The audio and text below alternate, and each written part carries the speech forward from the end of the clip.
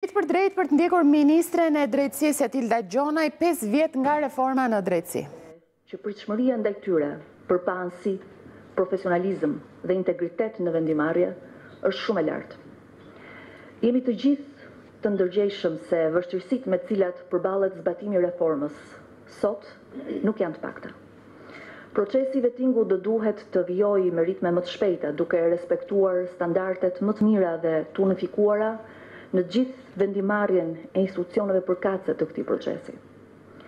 Vakancat e krijuara në sistem për shkak të largimeve të shumta kanë pasjellë nevojën për të adresuar strategjikisht rritjen e numrit të pranimeve në Shkollën e Magjistraturës, por dhe ruajtjen e cilësisë profesionale, formimit të shëndetshëm etik dhe promovimit të gjyqtarëve dhe prokurorëve në sistem. Rritja e efiçencës së sistemit padyshim do të ndihmohet dhe nga harta e re gjyqësore. Institucionet me përgjegjësi ligjore si Ministria e Drejtësisë dhe Këshilli i Lartë Gjyqësor do duhet të peshojnë në mënyrë të kujdesshme nga njëra anë adresimin e nevojave imediate të sistemit të drejtësisë dhe nga ana tjetër garantimin e aksesit në drejtësi të çdo qytetari. Një hap i rëndësishëm që i parapriu këtij procesi ishin dhe ndryshimet ligjore në maj të vitit dy mijë e njëzet e një, të cilat mundësuan funksionimin e plotë të degëve të gjykatave.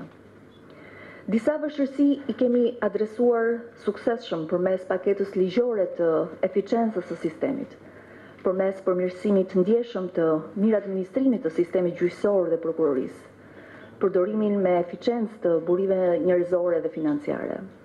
lehtësimin e gjyqtarëve dhe prokurorëve nga një seri veprimesh administrative nëpërmjet njësive ligjore të parashikuara rishtas, uljen e ngarkesës, por njëkohësisht edhe shpejtësinë e gjykimit për qytetarët. Tanimë. Avancimi i reformës në drejtësi është në momentin që kërkon vullnet, kërkon angazhim, ritëm pune dhe shumë bashkëpunim midis gjithë aktorëve. Gjithkush prej nesh ka përgjegjësinë dhe detyrat e veta që burojnë nga Kushtetuta dhe ligji, por gjithë ndajnë të njëjtin qëllim. Prandaj kërkohet koordinim dhe ura bashkëpunimi, duke konsideruar si vlerë të shtuar të domosdoshme për ta çuar përpara këtë reformë. I gjithë procesi i hartimit të kësaj strategjie gjithëpërfshirëse që na bën sot bashkë, ka qenë vetëm një ndër shembujt e punëve të mira që janë rezultat i këtij bashkëpunimi. Qëllimi i kësaj tryeze është fillimi zyrtarisht i një faze të re, atë të konsolidimit të rezultateve të reformës në drejtësi. të mishëruara në këtë dokument strategjik të drejtësisë si udhërrëfyes për vitet në vijim i asaj çfarë është ndërtuar deri tani. Për hartimin e strategjisë së re ndërsektoriale të drejtësisë është punuar për një periudhë të gjatë nga një grup pune i udhëhequr nga Ministria e Drejtësisë, me përfaqësues nga të gjitha institucionet e drejtësisë së re dhe institucioneve shtetërore, asistuar në të gjithë procesin nga Misioni Euralius. U punua pothuajse për një vit intensivisht për këtë dokument strategjik, i paraprirë nga një analizë dhe i pasuar me një plan veprimi. Janë organizuar më shumë se njëzet e pesë takime konsultuese të dokumentit final, në të cilat kanë dhënë kontributin e tyre rreth dyqind e gjashtëdhjetë e katër pjesëmarrës, gjyqtarë, prokurorë, avokatë, pedagogë, partnerë ndërkombëtarë, shoqëri civile, noterë, përmbarues e të tjerë. Paketa e re gjithëpërfshirëse strategjike adreson jo vetëm problematikat me të cilat përballet sistemi, por edhe rritjen e profesionalizmit dhe efiçencës të vetë sistemit, kundrejt standardeve më të mira europiane. Reforma në drejtësi gjatë rrugëtimit të saj ka patur sfidat, vështirësitë dhe kundërshtarët e saj, por nga ana tjetër ka pasur dhe vazhdon të ketë mbështetje të pakushtëzuar nga qeveria, Ministria e Drejtësisë, si në instrumenta ligjor, mbështetje buxhetore dhe infrastrukturore, si një investim për të ardhmen e vendit. Një mbështetje e plotë është treguar në këto vite nga Kuvendi i cili ka qenë edhe laboratori i kësaj sipërmarrje, ku jo vetëm u hodhën themelet e sistemit të ri të drejtësisë, por është dhënë mbështetje aktive në miratimin e ndryshimeve ligjore si dhe në adresimin e kërkesave të institucioneve të drejtësisë së re. Reforma në drejtësi ka patur mbështetjen, asistencën dhe kontributin nga partnerët tanë ndërkombëtarë, Bashkimi Europian dhe Shtetet e Bashkuara të Amerikës, pa të cilën do të ishte e vështirë zbatimi i kësaj reforme. Për këtë, më lejoni e nderuar zonja ambasadore dhe ambasadori Soreka, t'ju shpreh, Mirënjohjen time dhe qeverisë shqiptare, si dhe të gjithave vendeve të tjera amike dhe partnere që vazhdojnë të na mbështesin në konsolidimin e sistemit të drejtësisë. Padyshim një aktor shumë i rëndësishëm janë aktorët e shoqërisë civile. të cilët do doja t'i falenderoja jo vetëm në kontributin që kanë dhënë për procesin e hartimit këtij dokumenti strategjik, por dhe në dimensionin tjetër thelbësor që i kanë dhënë vështrimit të reformës, syrin kritik dhe vlerësimin profesional të ecurisë së kësaj reforme. Një falënderim i shkon dhe përfaqësuesve të medias, pavarësisht nga interesat dhe këndvështrimet e ndryshme të lidhura edhe me linjat e tyre editoriale, përmes rolit të gazetarëve të atashuar pranë institucioneve të drejtësisë, të cilët kanë luajtur një rol të dobishëm në transparencën e procesit dhe me zërin kritik konstruktiv ka ndihmuar për t'u dhënë shtysë pozitive disa çështjeve ku kërkohej mbështetje e fortë politike, për të ecur përpara në ngritjen e institucioneve të reja dhe funksionimin normal të tyre. Në përmbyllje të kësaj fjale, mbetem besimplotë se vullneti ynë i përbashkët, bashkëpunimi dhe koordinimi eficient, do të jetë një shtysë e fortë për të avancuar me zbatimin e reformës në pesëvjeçarin e ardhshëm. Reforma në drejtësi është shpresa e qytetarëve. Për një qeverisje shumë më të mirë, për më shumë besim tek shteti dhe institucionet e tij, është ura jonë lidhëse me të ardhmen tonë europiane. Është përgjegjësia jonë për ta shtruar këtë rrugë, për t'u kthyer qytetarëve besimin e munguar tek drejtësia. Jemi në rrugën e duhur, por na duhet shumë punë, më shumë sakrifica, dhe më shumë angazhim për ta çuar deri në fund këtë projekt, projektin e të ardhmes europiane të vendit, projektin për një të ardhme për familjet tona, për fëmijët tanë. Secili do të bëjë sa më mirë detyrën në respektim të Kushtetutës dhe ligjit. Por Vetëm të gjithë bashkë do të bëjmë të mundur që ky projekt të jetë i pakthyshëm, i pacënushëm dhe i suksesshëm. Ju faleminderit për vëmendjen.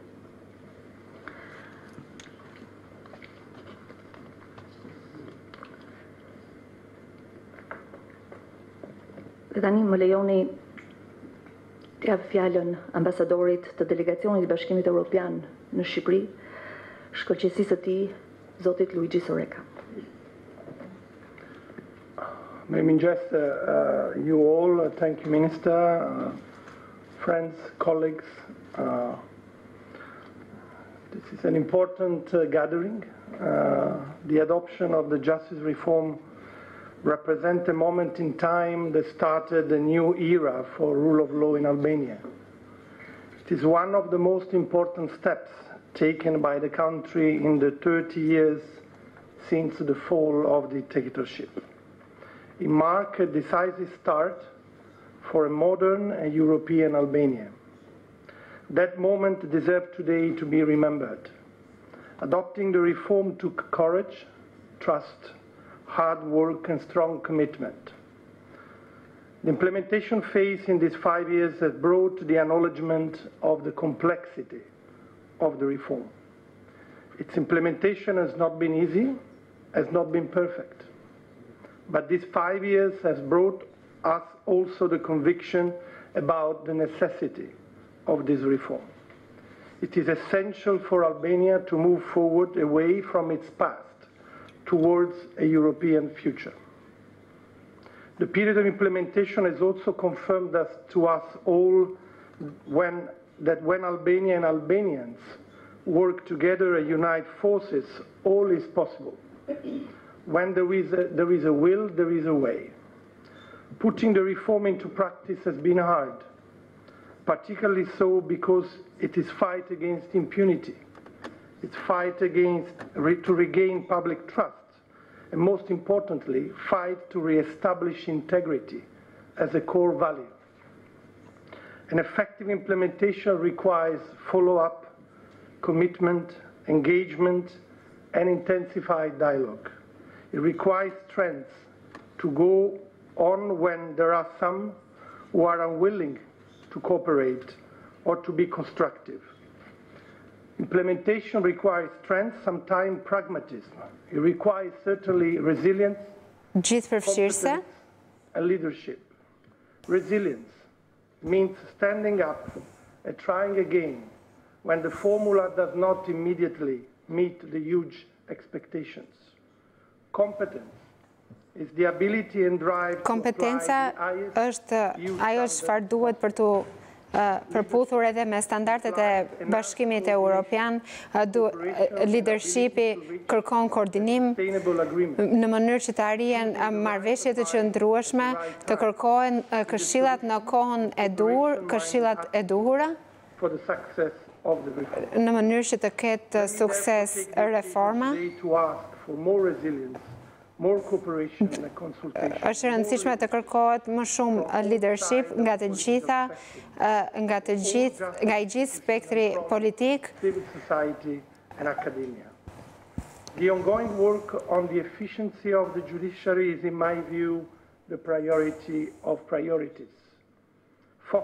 Vijimi i reformës në drejtësi është mjaft i rëndësishëm dhe është një ndër prioritetet kryesore në mënyrë që të ecet përpara në mënyrë efikase.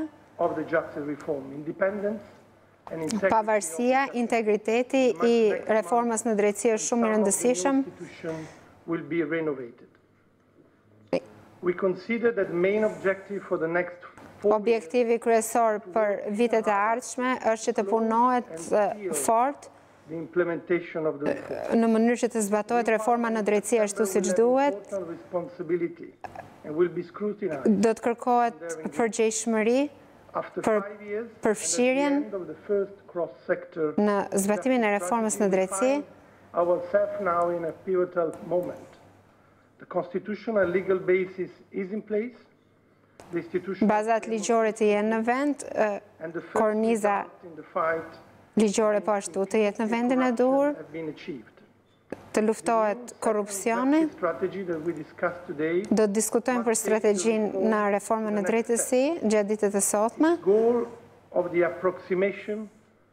of the Albanian justice system with the best European standards in all its Sistemi, Do të diskutojmë rreth sistemit të drejtësisë në Shqipëri në mënyrë që të jetë në përputhje me standardet europiane, and cooperation on the next është i nevojshëm bashkëpunimi dhe koordinimi për reformën në drejtësi. encouraging and rewarding to see Është inkurajuese që të shohim që në këtë tavolinë të kemi aktorët kryesorë, Kjo është është një mënyrë e mirë për të shënuar përvjetorin e diçkaje kaq të rëndësishme për Shqipërinë.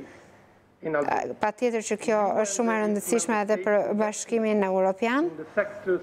Bashkimi Europian po investon në ato në sektor mjaft të rëndësishëm, kemi mbështetur reformën në drejtësi në të gjitha nivelet, në të gjitha format dhe dhe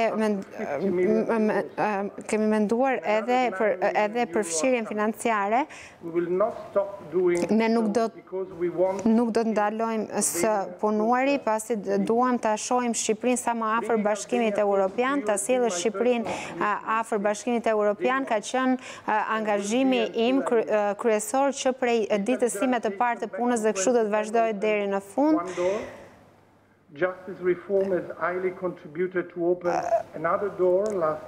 Patjetër që reforma në drejtësi, puna që është bërë ka ndikuar në hapat drejt Bashkimit Europian, ashtu sikurse është vlerësuar edhe Shqipëria deri më tani dhe hapat që Bashkimi Europian ka marrë në kuadër të Shqipërisë, ashtu sikurse ndodhi edhe vitin e kaluar. Faleminderit shumë që keni punuar shumë për reformën në drejtësi në Shqipëri, ashtu sikurse duan edhe shumë shqiptarë.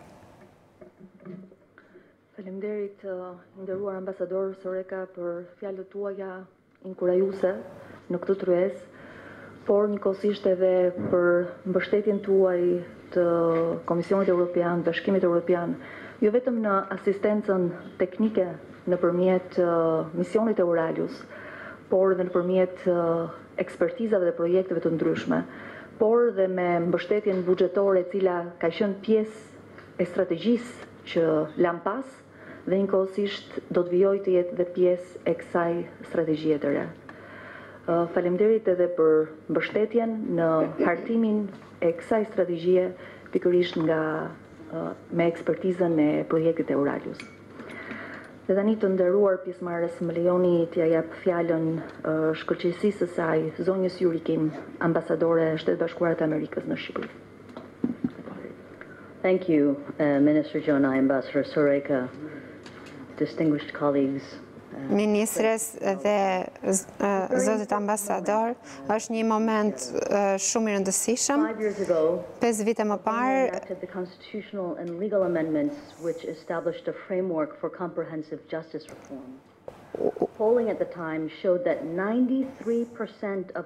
U vendos rreth reformës në drejtësi, shumë shqiptarë kanë mbështetur reformën në drejtësi, kjo tregon se sa se sa Shqipëria dhe shqiptarët duan ndryshime themelore në sistemin e drejtësisë në Shqipëri. has not been easy, quick or perfect. Reforma në drejtësi nuk ka qenë e lehtë apo perfekte, por tashmë po shohim rezultate. Shqipëria ka bërë shumë progres sa i përket reformës në drejtësi, çfarë kërkojnë edhe qytetarët në Shqipëri. Tashmë po shohim pra rezultatet e të gjitha këtyre përpjekjeve, të, të gjitha institucionet are now fully functional. janë tashmë funksionale, nuk janë të populluar aq sa duhet, por janë funksionale, këshili i lartë gjyqësor, gjykata kushtetuese, pra të gjitha institucionet janë funksionale, është edhe spaku u ndërtua dhe po jep rezultate,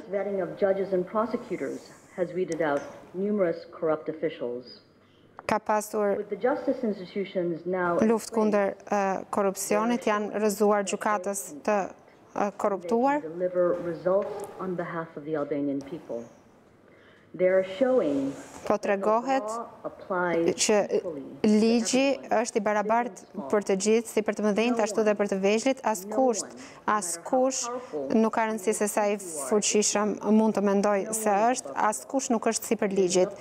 Dhe është dhe varet nga sistemet e drejtësisë të Shqipërisë, është varet nga ju për të treguar se në bazë të veprimeve tuaja, se kjo është e vërtetë dhe do të jetë e vërtetë. Kjo është shpresa e të gjithëve, shpresa e të gjithë shqiptarëve për të siguruar që ne ta bëjmë reformën në drejtësi ashtu siç duhet dhe ta thyejmë dhe të japim shpresë për brezat e ardhshëm. Ashtu sikurse e thashë, po shohim rezultate duke hequr gjykatës të korruptuar apo anëtarë të tjerë të korruptuar. dhe kemi luftuar dhe po luftohet krimi i organizuar që kanë qenë edhe titujt kryesor gjatë ditëve të kaluara.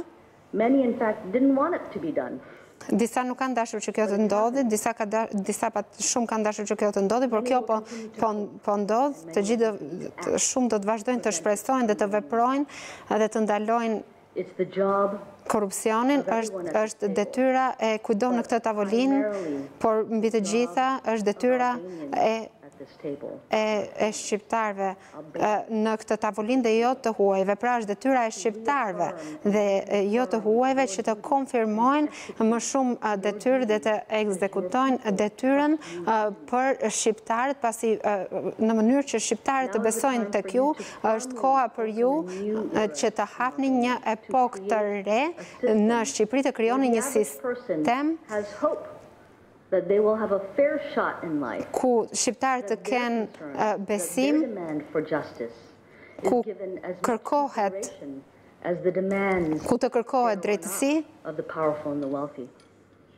It's a start, you've made a good start. Keni bërë një punë të mirë, një progres të mirë, një fillim të mirë, por duhet ende shumë punë për të bërë, ka ende shumë punë për të bërë, është një moment kritik. Shtetet e Bashkuara të Amerikës ju inkurajon të ecni përpara, është me ju, ju mbështet dhe dëshiron që të shohi punën tuaj në vijim të tejkaloni pengesat. Ju E kemi mbështetur reformën në drejtësi që në fillim në 2016 dhe do të jemi me ju deri në fund. Dua të theksoj që që përpjekjet tuaja për reformën në drejtësi kanë filluar që nën administrimin e presidentit Obama, ashtu vijoi edhe nën administratën e ish-presidentit Trump, të njëjtën gjë do të vazhdojë dhe tashmë me presidentin Biden dhe kështu do të vazhdojë deri në fund në përpjekje për reformën në drejtësi që të ecë përpara. Është koha e duhur të festojmë sepse ka arsye për të festuar, është arritur shumë, është e nevojshme të arrihet edhe më shumë, është koha e duhur për të parë përreth dhe të vlerësojmë se ku jemi dhe ku dëshirojmë të të shkojmë, çfarë kemi bërë mirë dhe çfarë mund të përmirësojmë, është koha të të dhe të bëjmë një vështrim objektiv dhe efektiv për progresin që është arritur. Le të vazhdojmë të përmirësohemi në mënyrë që të vazhdojë suksesi i mëtejshëm. Sot është koha e duhur për të nisur një diskutim për 5 vitet e ardhshme, for real meaningful change. Për ndryshim domethënës dhe kjo varet nga aktorët politikë dhe nga shqiptarët, nga sistemi i drejtësisë që të besojnë në ndryshim, të përkrahin reformën. Dhe t'i tregojnë atyre që kanë përfituar nga sistemi i shkatërruar, që ditët e tyre kanë përfunduar dhe ata nuk mundet më të përfitojnë dhe të vjedhin nga shqiptarët që ata nuk mund të vazhdojnë më me padrejtësitë në kurriz të të tjerëve, është koha të tregojnë që drejtësia do të mbizotërojë në Shqipëri. Faleminderit shumë.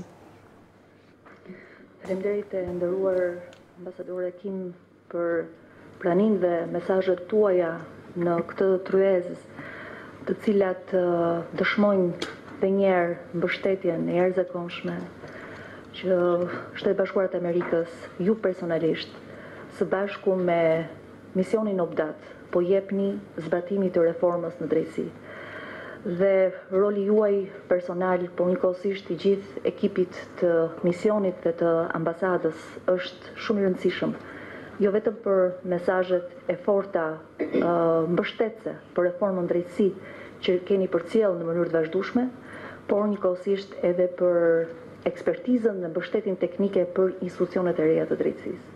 Ju falenderoj dhe një herë.